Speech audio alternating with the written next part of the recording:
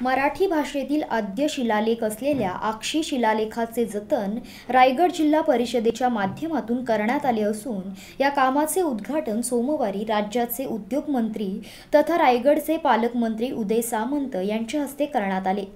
या कामासाठी प्रादेशिक पर्यटन विकास योजना तसेच जिल्हा नियोजन समितीने निधी उपलब्ध करून दिला होता.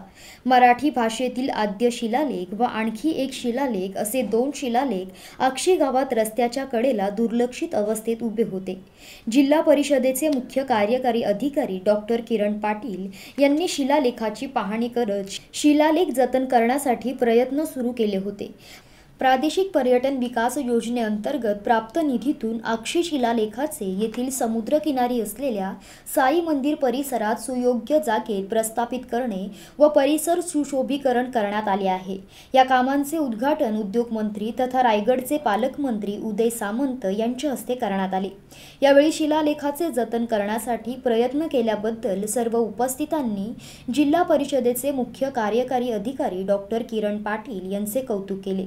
यावेळी आमदार महेंद्र दळवी जिल्हाधिकारी डॉक्टर महेंद्र कल्याणकर जिल्हा परिषद मुख्य कार्यकारी अधिकारी डॉक्टर किरण पाटील जिल्हा पोलीस अधीक्षक सोमनाथ घारगे अप्पर जिल्हाधिकारी अमोल यादव जिल्हा परिषद ग्रामपंचायत विभाग उपमुख्य कार्यकारी अधिकारी राजेंद्र भालेराव पाणी व स्वच्छता विभाग उपमुख्य कार्यकारी अधिकारी शुभांगी नाखले बांधकाम विभाग कार्यकारी अभियंता के बाय बारदेसकर आक्षी सरपंच नंदकुमार वाळंज माजी जिल्हा परिषद सदस्य कबन नाईक यांच्यासह मान्यवर उपस्थित होते.